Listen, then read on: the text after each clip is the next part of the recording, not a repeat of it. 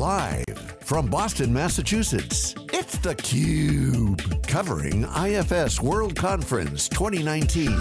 Brought to you by IFS. Welcome back to Boston, everybody. This is Dave Vellante with my co-host Paul Gillin. We're winding down day one of the IFS conference, the World, Co World Conference here in, at the Hynes Auditorium in, in Boston. Paul Helms is here as the Senior Vice President of Customer Success at IFS, something that we've been talking about a lot, and Stefano Mattiello, who's the Senior Vice President and the Global Head of Consulting, also from IFS. Gentlemen, welcome to theCUBE. Thank you very Thank much. You. Hi Paul, let me start with you. So, kind of a loaded question. How do you define customer success? So, it's a question I get very often, um, and customer success, you can make out of it what you want to. The way, the way IFS looks at it, it's not only me, but IFS looks at it is, how do we take our involvement into our customers' business outcomes beyond the go live?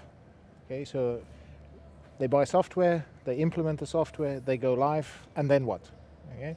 So customer success is really looking into what is the quality of the relationship we have with our customers and how deep and how uh, integrated we are in that relationship, understanding what success means to our customers, because it's, it's different for every customer. And then how do we back this up with the quality of service to really build that success and, and mine the value that is in the solution to the benefit of our customers. So it's this long-term relationship driven by business outcomes that is customer success. So historically in the software business, you know, uh, success was defined as, you know, we're live. You know, ServiceNow bakes right. a cake. hey, success. Yep. Um, that's not how you guys are defining No, success. I mean, it's, it goes way beyond the go live. In fact, I mean, we, we're talking about success as actually starting even before the implementation even starts, right? Which is capturing what success means to that particular customer, right? In your business situation, what does success mean?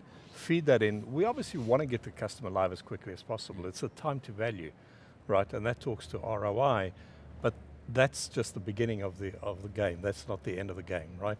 So it's about what are we doing after the go live phase? Um, what are the interventions that we're running in A, um, delivering on that promise that we made right up front that says, you know, what does success mean? Let's make sure we deliver on that. But then mo more importantly is how do we kind of maximize that success? You know, as, as the market dynamics are changing, as there's more pressure coming on your business, uh, your business is changing, right? So how do we evolve your business model? Because success today might have a particular shape and a particular color, but in nine months or 12 months time, it'll change, it'll mm -hmm. morph into something else. So it has a different definition. So it's about that lifelong engagement. You know, how do we keep redefining success? So at what stage does this, uh, the success discussion begin?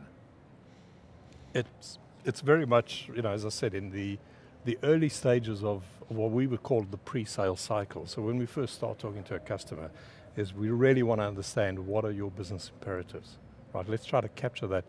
You know, it's, it's fundamental that we're not just selling technology for the sake of technology, but we're there to drive a business agenda. So it's, it really, you know, as, as early as we can do it, I think that's, that's where we can capture and, and maximize the, the delivery of that success. What does it really look like? So the sooner we do it, the better. That's and, and Paul, so looping that actually back into what do we see in our customers and, and the way they use the software and, and the way their business is changing and their environment and bringing this back all the way into the product. Okay? And how do we shape the roadmap of the product using the insights into how customers are being successful using our products. Um, so, you know, we are not there yet, but that is the ultimate goal that we will build better products based on our customer success insights and then turning this into a virtuous cycle to, uh, to really drive and maximize customer value over their life cycle. So it goes beyond just the service, it, it, it really is all the way back into the product, how that adds value, how do we deliver this, and all the way back again. And I always argue, I mean, unless you're sort of a nonprofit or you know, if you're a hospital, you want to save lives, but if you're a, a for-profit company, you want to increase revenue, you want to cut costs, you want to drop you know, money to the bottom line, you want to rip the face off your competitors, mm -hmm. and you want to do some good for, mm -hmm. your, for your community. So I mean, you can take all these other factors, whether it's you know, better customer satisfaction, better productivity, et cetera, and it usually boils down to you know, those things. Is that fair? Yeah, I mean that's pretty much, you know, those are your business imperatives. Yeah, that's what success looks like to you. But, but it's an iterative process, right? So, you know, so what I was saying earlier is it doesn't, doesn't start and stop there. I mean, things will change. Um, and the approach we want to take is let's not just do it once, let's keep revisiting this, right? Because once you've captured those objectives and you're actually on top of those, or you think you're on top of those, then as we improve the product, as the market dynamics change, then you'll have different priorities. Right, so let's keep revisiting. And, and the way we're looking at it is a project is no longer just a start and a stop, uh, a single time event. It's, it's an iterative process. Are you, So- are you like seeing priorities change, or maybe you don't have enough data to, to speak to this, but you know, we saw 160 CEOs E recently signed a, uh, a petition or a proclamation, if you will, that it's not all just about shareholders. There are multiple, multiple stakeholders they have. Are you seeing uh, uh, priorities of customers change over time? I think when the conversations are changing. So when we talk about 10 years ago, probably talk about you know, optimization, it was purely you know, for getting more bang for your buck. Okay, so how do I take cost out? How do I become more efficient, more effective? The, the conversation is changing now to how do I become more sustainable? Um, it's still, you still need to optimize, you still need to deliver better uh, and, and, and operate better, but it's not only for profit, it's also on how do I you know, become more sustainable, how do I leave you know, an environment for the youngsters in my company that they still have a company by the time that they are uh, you know, I mean, Benioff's at our age. Benioff's been very outspoken about Yes, that, he has. as you know. I'm just waiting for the day when the CEO misses three or four quarters in a row and says, yeah, but you know, we're doing all this great tech for good. Uh, but, so, but I do agree. I mean, especially with millennials coming into the workforce, Yeah. they want to see that their companies are doing good, they're giving back to the community and, and paying it forward. Uh, question on swim lanes. You got, I think, 400 partners. Um, what are the swim lanes between the services that you provide and your partners provide, and what's the overlap there? So, so this is the, the, the transition that we're in at the moment is that, you know, historically IFS was trying to be an all things to all customers, right? So we'll do everything from A to Z. Uh, what we're doing now is we're saying, well, let us focus on what we do best, which is our product, right? That's really what we do best. So what we want to do is we want to try and help the ecosystem. We want to help our partners in driving those efficiencies and actually implement as quickly as possible and drive value for our customers. So what we're doing is we're now moving into a position where we say, let us rather drive a value assurance discussion with our customers. Let's safeguard projects. So we're working in a symbiotic relationship with partners. We're not competing with them, right? So we know what we do, we know what they do. So you have some new services, IFS Selects, uh, Select, IFS Success, um, IFS Tools and Methodologies. So there's knowledge transfer then between you guys and your partners, is that Yep. right? How does that work? I mean, this t- takes investment. It's, can't, you know, it's got to be more than just a press release, obviously. Yeah, yeah. uh, we- We, we want our partners to know everything that we know. Uh, we- And we're, we're a software company, we're not a services company, and we don't want to compete in the services space. We want to use services to enable software, okay, and more software. Um, because the faster we grow our software business, the, the better for us as a company, because that is our core, core business. So there's no competition with partners. We want to share what we know. We want we put it in tools and methodologies. We standardize knowledge. We share knowledge. We bring this out. We enable them in the same. We, we put our partners through the same training we put our own people. There's no you know secret little room back there where we give them the real stuff. you know, our own people. Um, so we are very open with, with knowledge and experience and, and sharing them uh, and helping them enabling this. So we will work with a partner to say, okay, the first ones that you do, you might not be that confident. So let's, you know, be there in a more intense way. And as you go along and you build your confidence and you build your competence, we can take a step back. Um, and, and therefore, we can still ensure quality for our customers while scaling through the ecosystem. So this is, you know, uh, it, it sounds strange, but we really want, do not want to do the services business. We want to do the services business that we have to do, not as much as we can do. Yeah. And I mean, just picking up on that as well, is it's, it's not only about enablement, we're actually actively sharing our tools and methodologies with our partners. So whatever we use ourselves, we're making available to our partners. And that's fundamental, right? That's Yep. exactly what Paul says, is we want the partners to do exactly what we're doing, to the same level of quality, And, same and we have a stated vision that says that the customer experience should not differ whether they use IFS as their partner or they use a service provider as a partner in their journey. It because it's about the experience around the product, not around the service. That should make the difference for them. And I think you have a dog fooding uh, booth here. I call it dog fooding. I know it's kind of a pejorative, but you know, your champagne, drink your own champagne. But, but you know, IFS runs I, IFS. Is sort of the, Yeah. the big, a big Right, theme here. right so you behind us. guys have, have you know, implemented, and this is what you're talking about, the tools Yeah. and methodology you use for your own business. Yep. What have you seen in your own business? What kind of business impact have, has IFS had on your business? It's um, so so we implemented our own, as you say, we drank our own champagne within six months. Uh, we came from an environment which was quite disparate, historically speaking, many different systems in different locations and, and regions, and we brought this and consolidated this into a global template. Um, this was hard, harder than we probably thought it was going to be, not technology-wise. Technology-wise, it was yeah, technology is what technology is. But from a change management point of view and from a you know, impact to the business and to, to people's daily operations, um, it was bigger than we thought. But when we, so, so that's a learning, we've captured this and our lessons learned. We have made some changes and brought in some new tools and methodologies and insights that we'll share with our partners. Um, but if you now look at after afterwards we live, the impact it has on our business, it's transformational. It is giving us insights which we never had before, giving us efficiencies which we never had before. It opens up new things that we consider as doing as a business and operating as a, as a business which we never had before. So, yes, was it was it hard? Yeah, it was hard. Let's let's not, you know, What, what were you transitioning from? all sorts. Oh, So, so we, we, we had a, One had of a everything? Yeah, I mean, we literally had a cluster of uh, independent systems that all be modified, and I think this this is another point: is that you know the historical approach to a lot of ERP installations is um, tell me what you want and I'll develop it for you, right? A lot And of snowflakes. yeah, exactly. And even if it means that we're actually going to build a square wheel, which is not the you know not the best model, but that's what you want, so we're going to give you that. Whereas the approach we're taking now is, you know what, we've got enough capability and standard functionality from all of the years of experience that we have. Go with with kind of best, you know, best in breed approach. It's it's more than enough than what you need, and it'll give you that ability to switch it on and go live and, and run with it immediately, rather than customizing it and spending three years in trying to get that square wheel, which is actually not what you really need. Right. that Right. seems to be the karma at the company. We've been hearing that all day about the value of not customizing. Yeah. Correct. Exactly. And the, the, the, the product itself and, and, and, uh, and our solutions are, are very rich.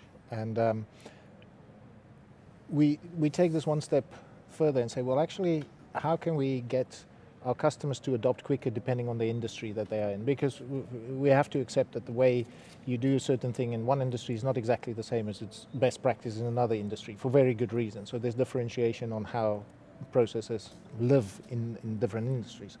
So Stefano and team has been very busy building what we call the accelerators, um, and how do we bring those industry best practices together in two things. One is as a quick start, so you know, here it is, just use it and run with it, and, and you're up and running very in a very quick way. So that's our knowledge and experience that we share, and we make it available to uh, through our partners as well. And secondly, it will allow us to keep that up to date as sort of the reference architecture for your industry. To as you go forward, you might, you know, be going one way with your uh, implementation. We say this is this is industry best practice, and how do you derive value between the gap uh, by adopting the gap between what is standard best practice and what you have in your solution. So driving that value over the life cycle as part of the success engagement.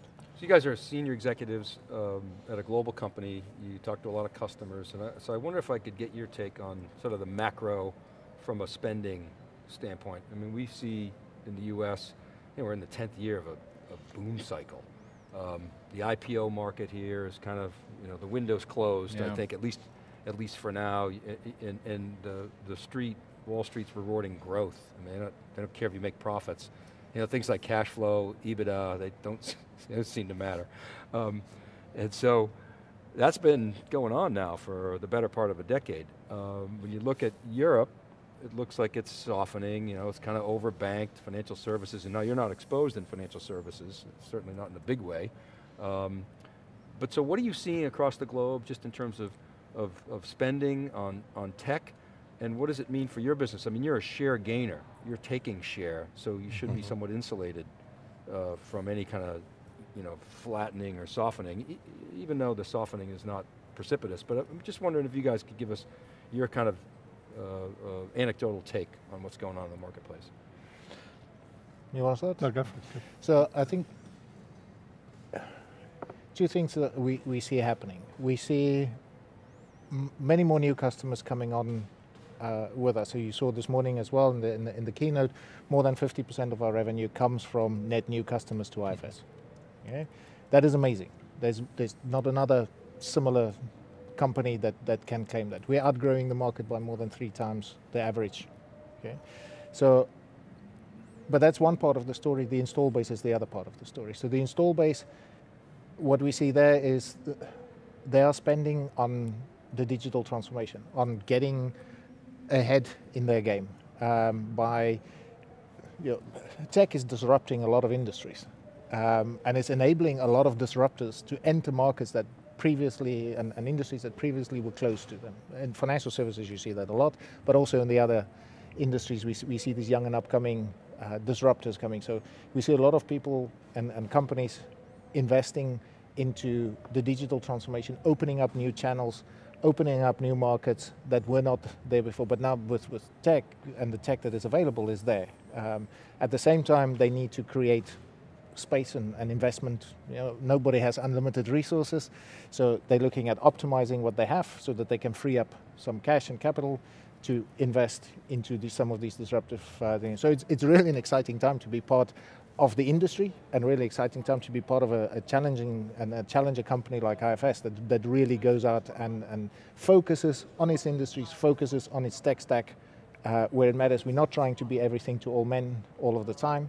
We're really going after what we know we are good at, and you know, I think uh, the numbers show, show for themselves. So half half of the transactions are new adoption of yep. IFS. Yes, that's enormous. Half of the license revenue. That's from a yeah, license. Right. Revenue. Okay. Yeah. But so and then, I mean, unless unless there's a huge proportion leaving your install base, which it doesn't sound like that's no. happening. No. Um, that that if people are just even spending, you know, flat with you guys, it's it's a growth story. Yeah. It's, it's very. I mean, my opinion is it's all about choice. Customers want choice. They want they want an alternative, right? Um, and I think what I think we're doing right, uh, well at least what I like to think we're doing right, is that we focused on business outcomes. That's really what it's about. Yeah. You know, we're talking their language, uh, talking to their agenda, and we're giving them an alternative. And we're not forcing them to go into the cloud we give them the option to go into the cloud if they want to, but they can also stay on premise. We don't force them to go subscription model.